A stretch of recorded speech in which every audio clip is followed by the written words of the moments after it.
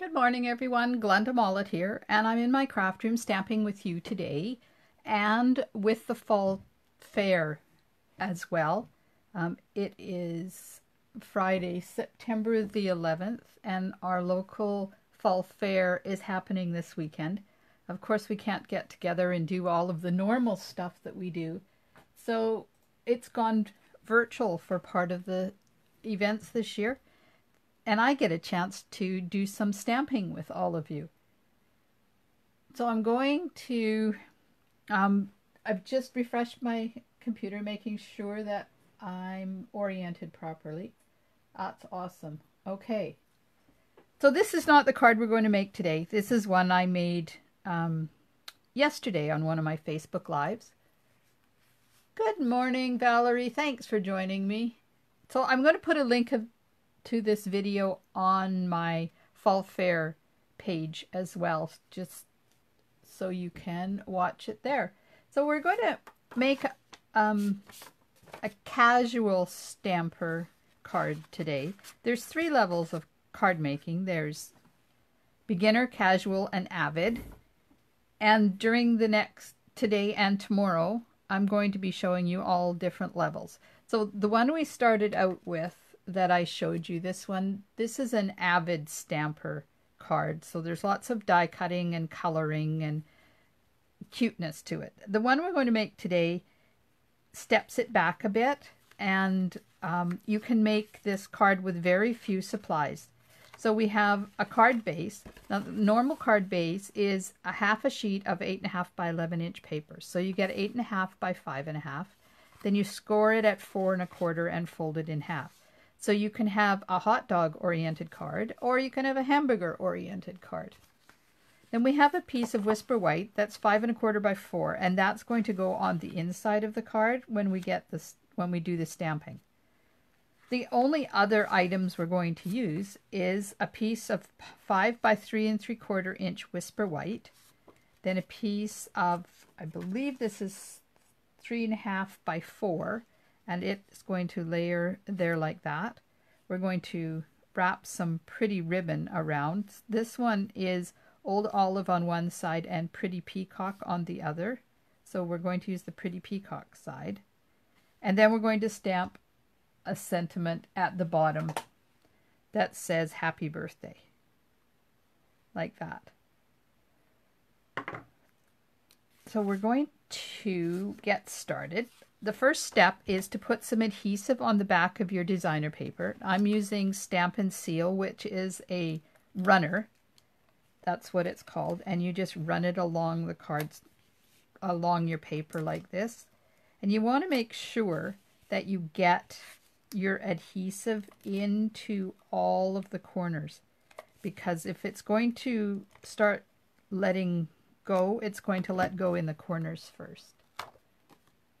So this, making sure that I have it the right way up, I'm going to attach it to the Whisper White piece. That's five by three and three quarters.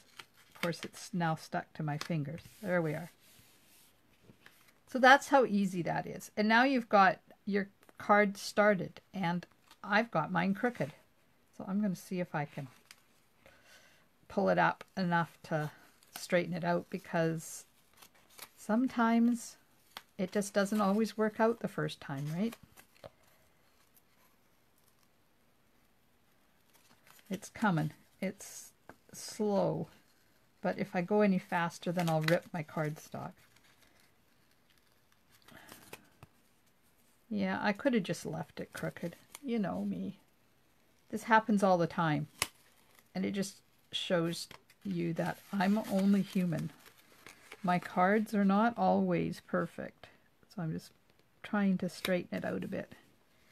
There we go. And we just put it back down again. There, that's better. Okay, so now we need to um, wrap our ribbon around here like this to give it a little bit of um, added texture. And I'm going to use the Pretty Peacock side. So run adhesive uh, along the back side, right at the edge. And then you place your ribbon where you want it. and just fold it back so that it grabs onto the the adhesive like that. And don't pull it too tight. You don't want it to bend your card. And fold it back and then it hits the adhesive. Then I'm going to use my grid paper to make sure it's even. And this side is right on that dark line. Now, can you see that? Let me move it up a bit. It's right on that dark line. But if you look up here, it's not. So I just lift the ribbon, slide it over till it hits that dark line, and attach it on the back again. There we go. Now, we need to put more adhesive on my adhesive's coming off the roller. Need to take more, put more adhesive and you go right over top of your ribbon so that it doesn't move. And once you've done this adhesive underneath and adhesive on top, your ribbon will never fall off and it will never move. And you notice I'm not doing a bow because you don't need bows all the time. Okay, now we're just going to layer that onto the card front.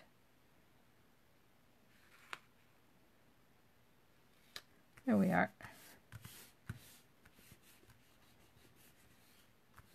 And make sure it's well stuck down. That's basically the card. Now we're just we'll just use some pretty peacock, which is the same color as the um, card base is, and I'm going to stamp happy birthday right onto the card base. No extra cardstock required. See if I can do this without getting my head in the way. And you put it down, and then you just rub your finger over top like this, and that transfers the ink. And you have a perfect stamp every time. So that's all there is. Now I do have some bling to add, but we're going to stamp the inside first and the envelope, and then we'll add the bling. So I have a piece of paper under here that I call my dirty paper, so that it doesn't get my grid paper dirty, and I can do some half on, half off stamping. So the card is oriented like a hot dog. We're going to start out with this uh, leaf and some Just Jade ink, which is the lighter color that's in there. And I'm pulling the colors right out of the out of the designer paper. It's no need to um, no need to shake scratch your head to figure out what colors because they all come right from the right from the um, designer paper. So I'm just holding that and rubbing it gently to transfer the ink. There we go. So I'll do the same thing on the envelope. Right here like this.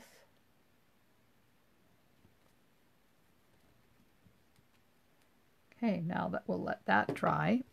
and I'm going to switch from Just Jade back to Pretty Peacock again. And I have another stamp that's almost the same shape. Well, it's the same shape as some of the little puffball things in there. Some of them are elongated, but it's very much the same. And this is Pretty Peacock, so it's a little bit darker than Just Jade. And I'm just going to put one of these in the middle like that. Kind of like a collage and I'll do the same thing on the inside piece like that.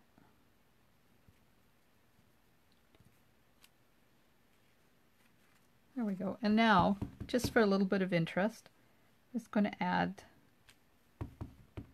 some up on the top. Just to make it a little bit different. All right, we get rid of this dirty paper so you don't have to look at that anymore. Put some adhesive on the back.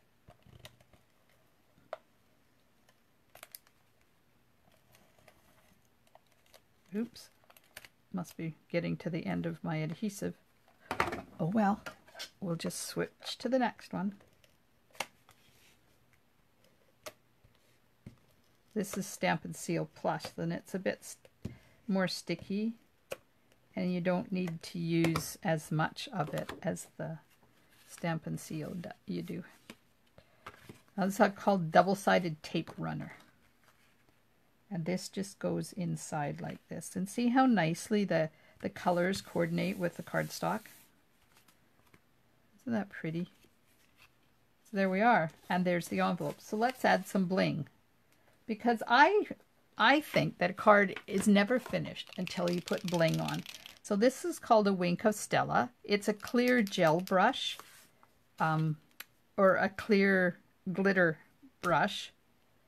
And you just go over top of wherever you want to highlight with it. And it just, it adds glitter, but not color.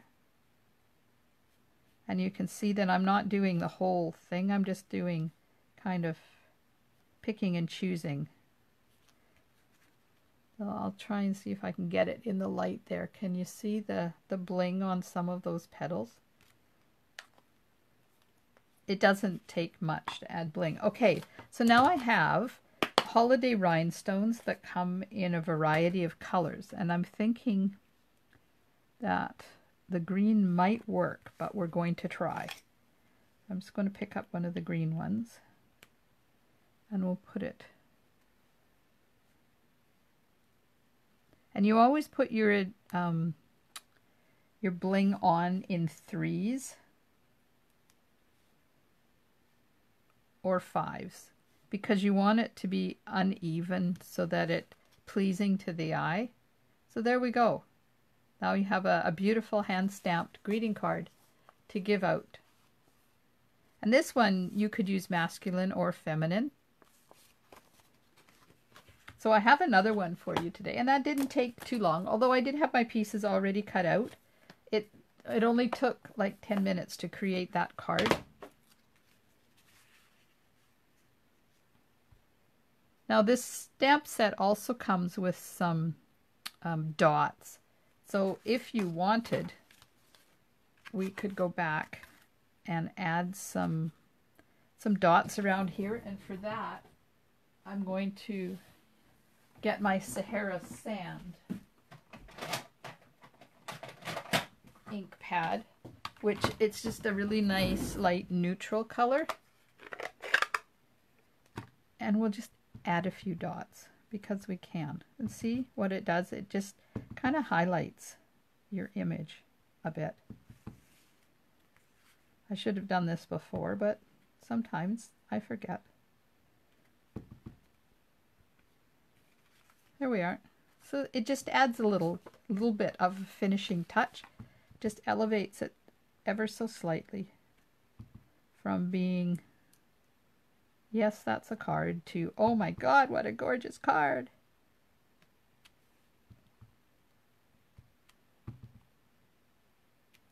There we go. All right. So that there's the first card that we did. And now I have another one for you. Just let me me get myself organized here. I put my rhinestones back in the wrong spot, of course. They go in the in that one, not the other one. Okay, so I'll just leave this off to the side here so you can have a look at it while I'm making the other one.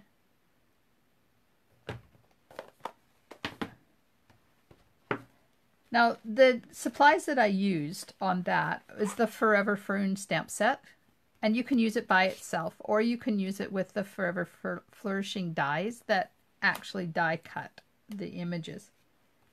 And the happy birthday came from Rustic Retreat. And I like this stamp set because it has Christmas, it has Way to Go, it has birthday, it has thinking of you, and thank you.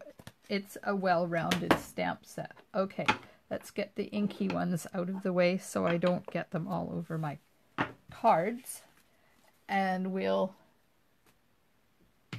do the second card. Okay, so for this one we're going to use Rococo Rose. So we're going with a totally different color palette. and make this, this one's going to be a little bit more feminine. And I'm using the Tasteful Touches stamp set. We're going to use this and we're going to use that. All right. Get stuff out of the way here. I need my blocks. So we're going to use, we're going to use, where is it? Here it is. Oh. There's that. And I might, I might end up using this. I don't know yet. We'll see how the card progresses. Okay, so we're going to have, this time we're going to have a Whisper White card base. And then we're going to layer, it's going to fit, go this way. Oops.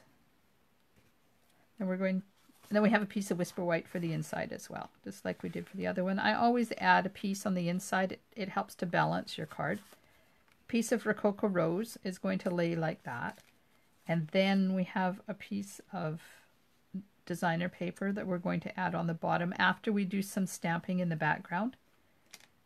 And then a piece of lace and a piece of ribbon. Then we're going to stamp on this piece of white and it's going to go here. And then um, this is going to be the sentiment. We're going to stamp the sentiment on a totally separate piece right on for this card. All right, get my pieces out of the way and we're going to do some stamping. So this designer paper is too long. I'm going to cut it off because I want it to go right from edge to edge and I always start with something that's a little bit bigger than um, what I need so I can cut it back. I'm going to do stamping so that it kind of comes out of behind here and just do a couple of random ones. So that's why I marked the pencil mark there. So I would know where to keep my stamping above that, that line. And we're going to do some tone-on-tone -tone stamping. So we're going to use Rococo Rose ink on top of Rococo Rose cardstock.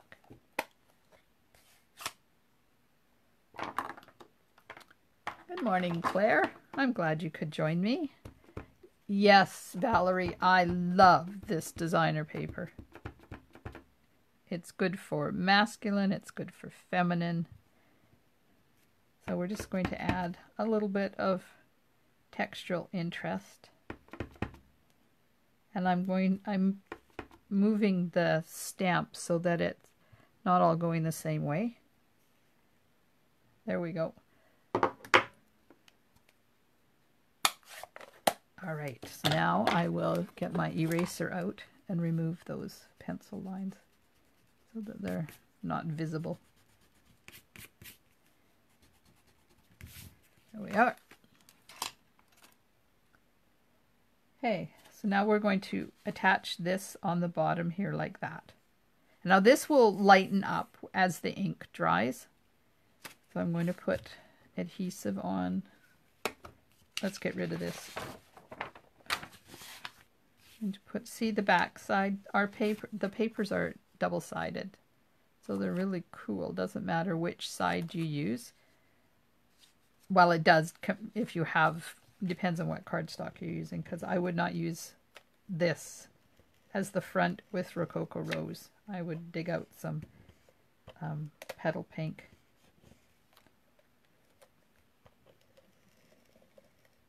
There we are.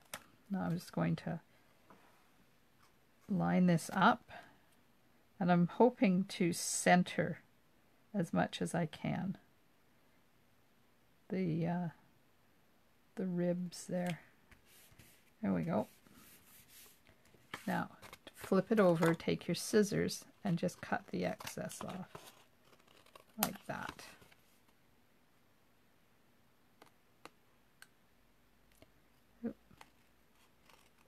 just be careful you don't cut the cardstock at the same time.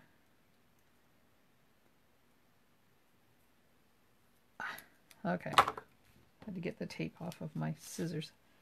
That's garbage. now we're going to do the ribbon and the lace. And I'm going to do the same thing as I did with the other one. Just run the strip of adhesive down each side. Put the lace on where I want it. And I want it to be just slightly above the edge of that designer paper. Wrap it around and and this is stretchy so just need to be really careful that I don't stretch it because it will see how it's pulling up in the center. So I'm just going to turn it over and just release it a little bit so that it sits down a little bit better. There we are. Okay, so now I'm going to use my adhesive. Let's go from this edge. Go right up over top.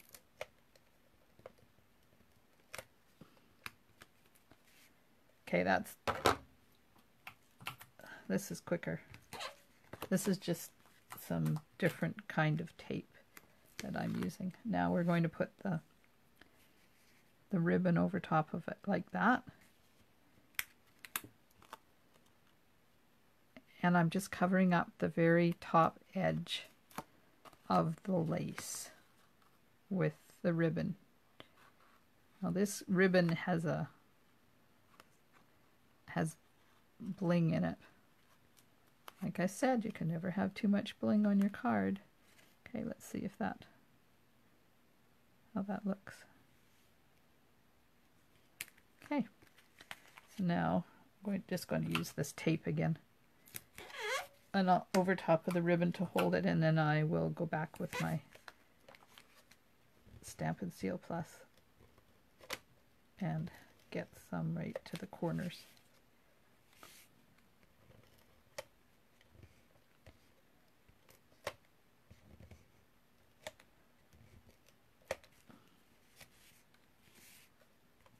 It's not cooperating this morning, apparently. There we go. Okay, now I'm going to take the whole thing, put it onto our card base. Like this. So, so far, all I've used is ink stamp and stamps and paper. You don't have to use adhesive or die cuts or punches or embossing folders or anything on all of your cards. You can make pretty cards just with stamp, ink, and paper. Okay, so now I'm going to take the flower and Rococo Rose. Oh, hi, Carol. Welcome, welcome. Okay, so I'm just going to stamp the flower on a piece of Whisper White. And this doesn't have dies. So it'll be a little bit of fussy cutting, but that's okay. So while the ink is still wet, take the um, Wink of Stella and just pull the ink into the white areas, just so it gives it a bit of color, but you don't have to color it. So this doesn't add any more supplies to to your card because we've used the clear Wink of Stella brush that we used on our other card.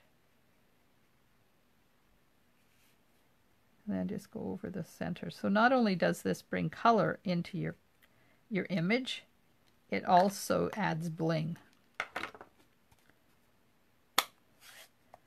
Now you can also put a little bit of ink in the lid of your ink pad and pick up some ink with your Wink of Stella and add color in with that if you don't get enough color coming through. You have to be very, very gentle and not use a lot of the ink. See how it just, it adds a little bit more of a dimension to your stamped image.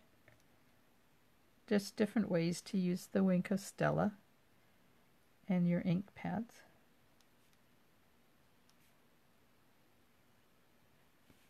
Takes a little bit of time, but that's okay. It's always good to have a nicely finished card. So I'm coming back tonight what time did I say? Six o'clock, I think. Just hang on. Yeah, six o'clock tonight, and we're going to play with the um, September Paper Pumpkin Kit. Now, this is a monthly subscription kit, or you can buy it individually from Stampin' Up, and they carry it comes once a month to your front door. And it make, makes cards or treat bags or whatever. I'm just adding a little bit more color to the center. There we go. And see how nice that is now? That's just added another dimension to your card. When I start these cards, I never know what they're going to turn out to look like. Because, well, I think I have an idea, and then when I when I uh, start, things pop into my head. So I'm just going to fussy cut, and I'm I like to leave a border border around the outside of my image. Um, you don't have to. You can cut it right up close to the the stamp if you want. I find it I like the look with the with the border around it. And this takes a bit of time, but it's not too difficult. It just it's basically just cutting scallops. And when you're cutting like this, you always turn your paper, not your hand, and not the scissors. Just so you get a nice smooth cut all the way around.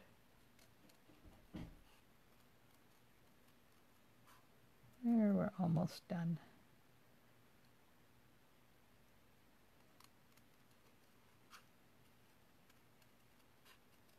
So are you guys going to have a good day? Got big plans for the day. I um it's lovely and sunny here in Port Alberni. It's been hitting 30 all week.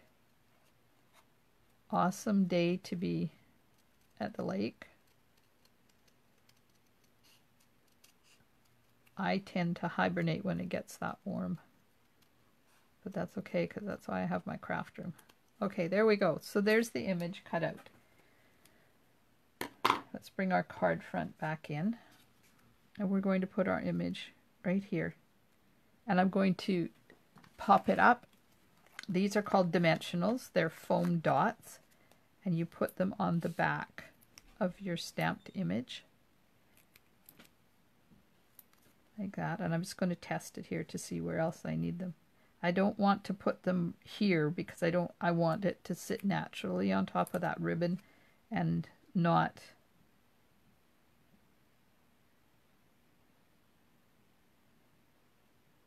not um, pull the ribbon down.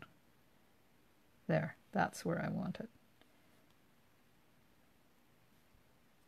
There we go. Okay, so now you take the um, liners off. These have liners on the back of them, so now they're sticky on that side as well. And then you just put it down where you want it. There we go. Now the sentiment. Where did I put my piece of Whisper White for the sentiment? We can put the sentiment down there, or you can put your sentiment up there. I'm going to stamp the happy birthday again. I just have to clean it because it still has the uh, Pretty Peacock ink on it.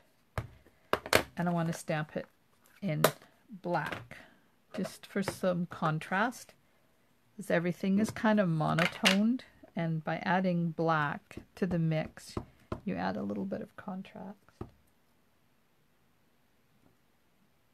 Oh, good. I was talking to Betty yesterday and she said they're clo you're closed down now for a couple of weeks. So that's awesome. Give everybody a, a rest. There we are. Stamp the happy birthday. Now, shall we put it there? or shall we put it there? I need to put some dimensionals on the back of this as well. And I have big ones, so we'll use the big ones.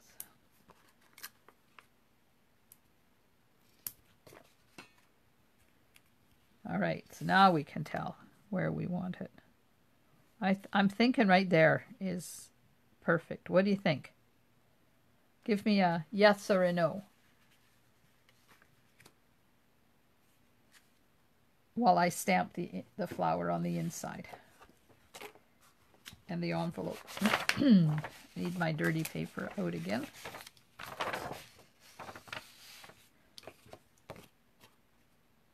Yes. Thanks, Val. Sideways. Okay, anybody else who's watching? Is that a good spot for the sentiment? Up there or down there? I like top. Valerie likes top.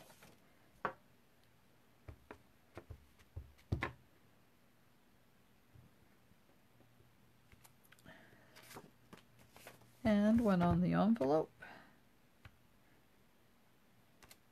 as well.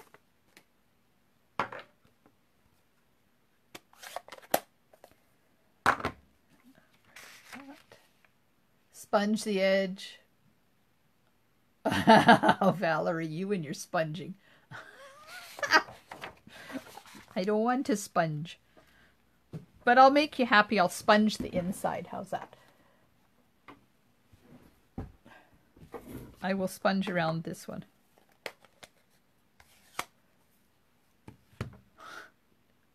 Thanks, Carol. I like it up there too. And I like the the contrast.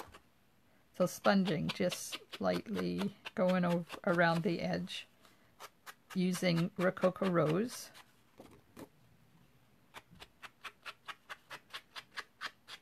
And I'm not going to color the flower on the inside. Just going to leave it the way it was. But I am going to right there in that corner just add a bit more so it looks like that flower is continuing. There we go, Val. Sponging just for you. Okay, let's put the adhesive on this and then we'll get it on inside. Oh, come on. Cooperate with me, would you?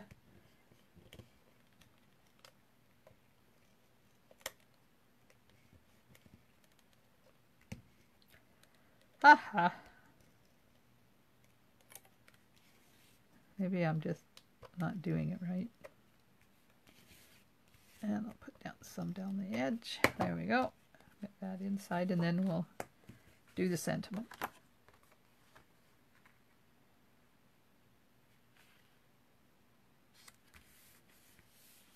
There we are. Sentiment going on.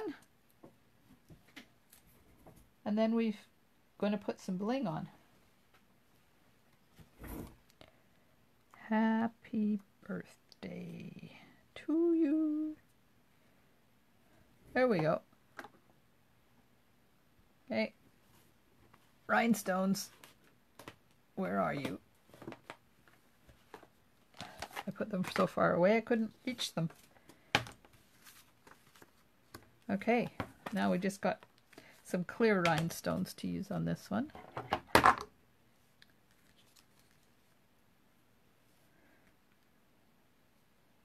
And put one here.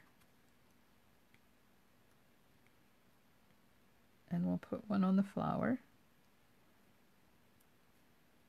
And we'll put one down here. I think it needs more.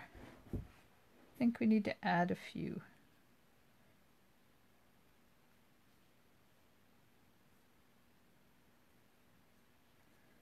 Because I can.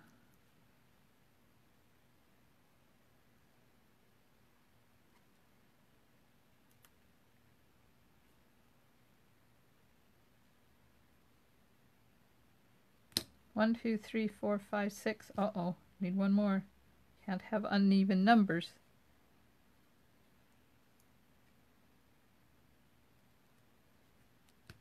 Nope.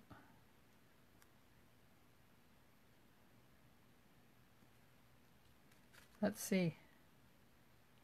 I think that one looks funny on there.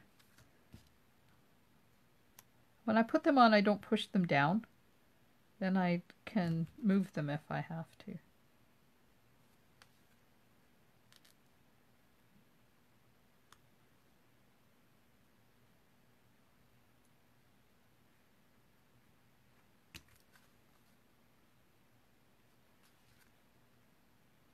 I know. The toughest part is figuring out where the bling's going to go. Okay, I'm thinking that I'm not liking that at all. So let's just take some off.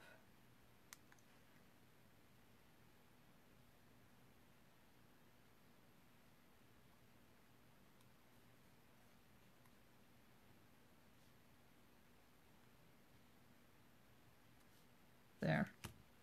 I'm done. Voila. Yes, voila, Carol. So there we are. Now they're where I want them, so I'll push them down to make sure they have good contact. So there we go. There's a couple of cards um, that require stamps, ink, and paper.